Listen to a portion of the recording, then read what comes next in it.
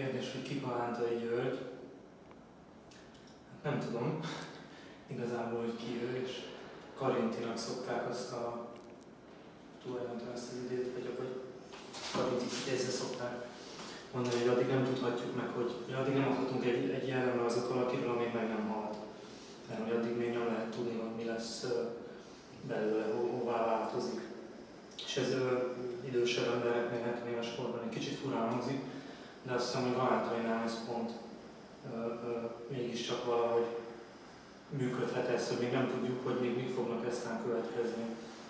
Mivel mondjuk én 5 évig dolgoztam az Ápóban, ami akkoriban egyfajta rekord volt, hogy ilyen sokáig húztam, illetve ők is ilyen sokáig viseltek el engem. És, de ennek ellenére nem alakult ki bennem egy ilyen fix kép, hogy, hogy miért. Pont azért, Gyurival leginkább, hogy az egyik legtanulságosabb, vagy legérdekesebb dolog, hogy ahogy ő újra és újra megújítja a, a szemléletét, vagy a, a szótárát, tehát hogy sokszor ugyanazokat a dolgokat gondolkodik, de már más szókincsel, vagy egy más kontextusban, és valahogy ez a, ezek, a, ezek az irányváltások, vagy ez a megújulás, de egy egymásra építkezés, ez, ez nagyon szépen látszott az öt év alatt. De már igaz, igazából korábban nyilván ismertem az ő nevét, de már akkor is megvoltak ilyen fázisok. Tehát először, mivel Dunajásban nőttem föl, a Szoborparkban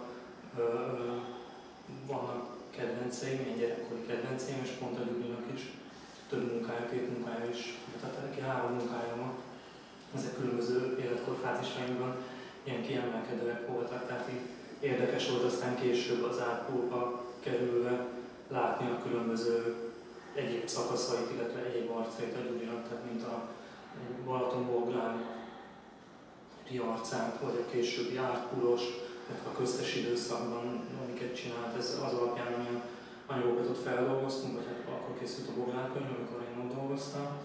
Így érdekes volt látni ezeket a teljesen látszólag nem összekapcsolódó arcait. És éppen ezért nem tudjuk, hogy még eztán milyen újabb galántai arcok, vagy ilyen irányok jöhetnek elő. Úgyhogy talán ehhez kapcsolódva a Gyudinak további sok megújulást, vagy ilyen újra, uh, új fordulatot kívánok.